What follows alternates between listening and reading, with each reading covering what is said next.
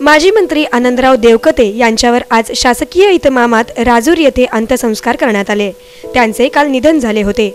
अंत्यसंस्कारापूर्वी देवकते यांना मंत्री महादेव जानकर पालकमंत्री विजय देशमुख माजी केंद्रीय गृहमंत्री सुशीलकुमार शिंदे जिल्हाधिकारी डॉक्टर राजेंद्र भोसले पोलीस अधीक्षक मनोज पाटील यांनी अंत्यसंस्कारापूर्वी त्यांच्या पार्थिवाला आदरांजली वाहिली. यावेळी आमदार गणपतराव देशमुख भारत भालके सिद्धाराम म्हेत्रे प्रणिती शिंदे यांनीही देवकते यांना आदरांजली वाहिली.